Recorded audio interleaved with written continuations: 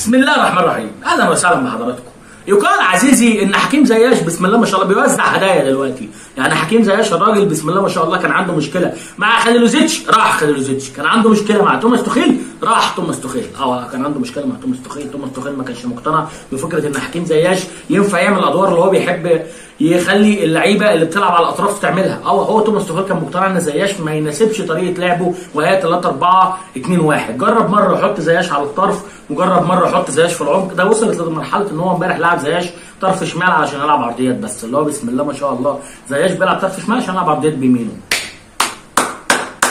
عظمه على عظمه بسم الله ما شاء الله يعني موضوع بالنسبة لحكيم زياش كان رايح في داهية. بس دلوقتي زياش الموضوع اتغير؟ آه الموضوع اتغير. ليه بقى؟ لأن ما بقاش فيه غير زياش ناحية اليمين. هو ورحيم ستيلينج ده, ده في حالة إن أنت هتلعب رحيم ستيلينج ناحية اليمين. وكاي هافيرتز ده ده لو المدرب اللي جاي قرر إن هو يكمل بكاي هافيرتز ناحية اليمين. وبالنسبة لنا زياش أفضل؟ منهم هما الاثنين. مع احترامي يعني. رحيم ستيلينج ناحية اليمين الموضوع بالنسبة له بيكون ضايع. رحيم ستيلينج راجل بيحب يخش لجوه كتير. آه الكلام ده كان بيناسب توماس توخيل بس أكيد ممكن ما يعني ما يناسبش المدرب الجديد. حكيم زياش يقدر ان هو يلعب في 4 2 3 1 يقدر يلعب في 4 3 3 حكيم زياش لعيب مميز جدا. لو حطيته على الطرف هتلاقي إن أنت تستفاد استفادة منه عظيمة جدا. لكن توماس توخيل الموضوع كان منتهي تماما بينه وبين حكيم زياش هل إقالة توماس توخيل تعطي قبلة الحياة لحكيم زياش لإثبات نفسه في تشيلسي والله أتمنى بصراحة. أنت عزيزي ماذا تعتقد؟ هل تعتقد إن حكيم زياش هيقدر يثبت نفسه في تشيلسي ولا مش هيقدر يثبت نفسه في تشيلسي؟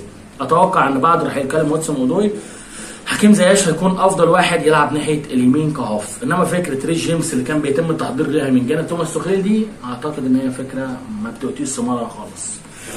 عارف إن الفيديو قصير؟ بس نعمل إيه يا عزيزي؟ لو عجبك الفيديو اعمل like ما عجبكش الفيديو اعمل subscribe. وفي الحالتين عزيزي تذكر دايما إن في نايف أكرد هنا هتلاقيني حاطط عليه علامة حمراء بس لو ما شفتهاش عنك ما شفتها ولا يهمك اسطى أو برضه مش باين. بص الشخص اللي بياخد سيلفي معاه آه اللي بياخد سيلفي معاه هنبعل هو ده نايف أكرد